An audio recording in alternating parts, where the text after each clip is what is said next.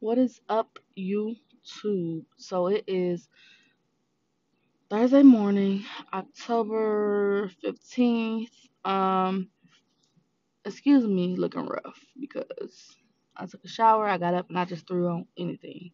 So Sunday, the 11th, I had went to this restaurant. You know how you have the little curb piece when you park, so your bumper might scrape it. So my bumper scraped it a little too hard. And now my car has been making like this little funny rattling noise. So that's why I'm up so early. Well, it's 8 o'clock, 8.06. And I'm just trying to get it checked out because, honey, I got to go out of town this weekend and I got to treat her right, you know? Well, actually, it's a boy. My car is a boy. It's not going to be a girl until I get my first dream car. Then it'll be my daughter. Until then, everything will be my son. Period.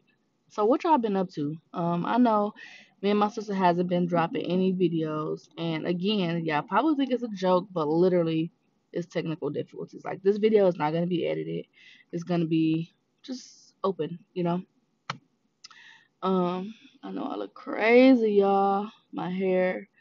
Oh yeah, and I got testimony about my hair too. Well, it ain't a testimony yet, but I guess when the testimony is over, I'll tell you guys about my hair, but y'all, my skin is glowing. You see these little spots? They clearing up. They were red and big and painful, but my face oil has been doing the job. I mean, what y'all say is the skin for me.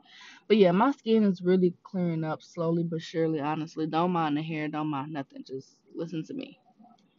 Um, so yeah, y'all, like, I don't know what y'all been up to, but I have been busy doing a little this, doing a little that, trying to make it, trying to maintain, trying to be more successful.